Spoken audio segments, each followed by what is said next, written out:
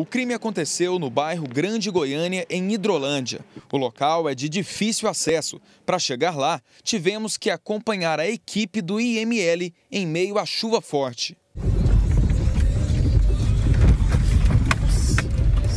Foram três mortes de uma só vez. Os três homens morreram dentro dessa casa no momento em que jantavam. Segundo testemunhas, era fim de noite quando ouviram vários disparos no local.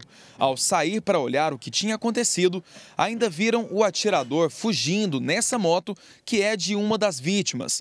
Ela foi abandonada poucos metros depois na BR-060. Até o momento não existe uma explicação oficial para tudo isso, mas a suspeita da polícia é que o crime tenha sido motivado por um acerto de contas relacionado a tráfico de drogas. No momento em que os policiais chegaram aqui no local, duas vítimas estavam na sala e a terceira estava no banheiro.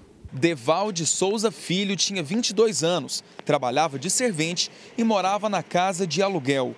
Segundo a polícia, ele não tinha passagem, apenas uma infração de trânsito. Ele era amigo das outras vítimas, Josué dos Santos Belarmino e o terceiro que estava sem documento de identificação. Esse senhor é parente e vizinho de Deval.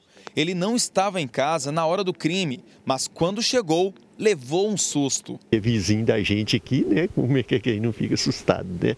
A gente fica da mano do outro sem sem saber o que fazer, né? Sem segurança, não, né? Tem, então, que é o outro, eu nunca tinha visto na minha vida. Tá? Vou fazer 74 anos e nunca tinha visto isso na minha vida.